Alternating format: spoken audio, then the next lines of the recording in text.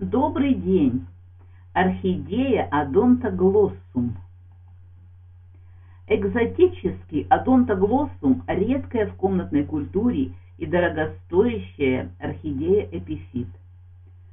Чаще встречаются пестро окрашенные гибриды, в которых растения этого рода оказываются лишь партнерами по скрещиванию.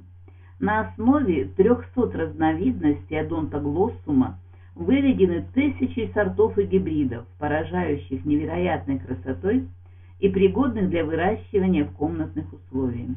В природе растение обитает в тропических зарослях и высокогорных регионах Америки на высоте от 1700 до 3000 метров выше уровня моря, где температура порой опускается ниже нуля градусов, распространяясь по территории Коста-Рики, Мексики, Гватемалы, Эквадора, Колумбии, на юге проникая до Перу и Боливии.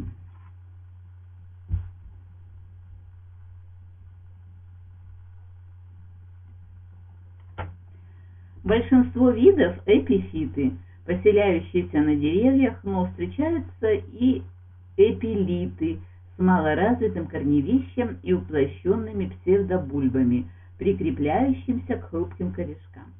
Листья орхидеи кожистые, длинные, темно-зеленого оттенка. При надлежащем уходе сохраняются несколько лет. Растение достигает высоту примерно 20 см, но есть высокорослые сорта около 90 см.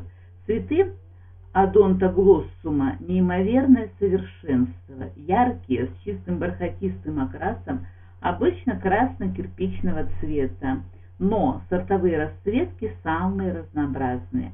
Отличаются остроконечными лепестками и закругленной нижней губой. Обеспечению комфортных условий содержания способствует регулярная, через каждые два года, пересадка орхидеи.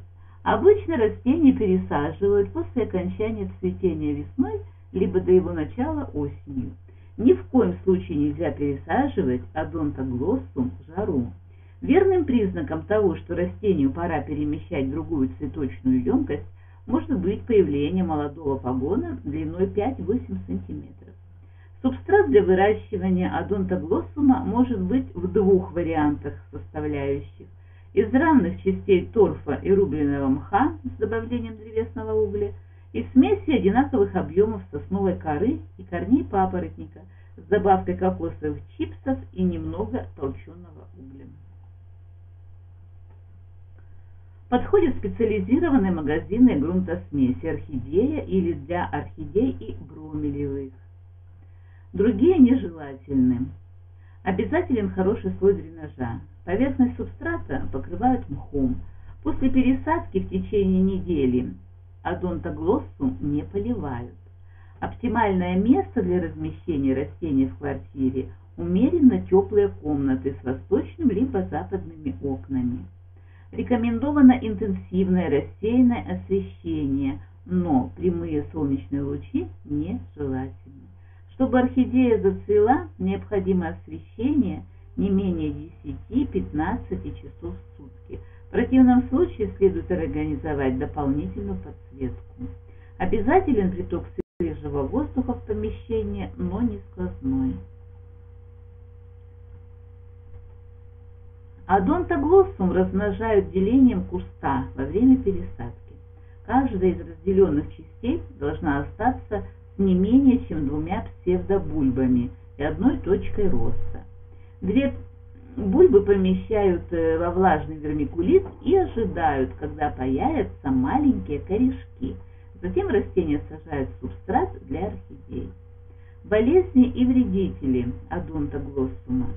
Загнивание корней и псевдобульб образуется в случае излишнего увлажнения во время периода покоя. Необходимо немедленно ограничить полив, если поражение сильное, пересадить другой субстрат, удалив загнившие корни, затем опрыскать орхидею фунгицидом.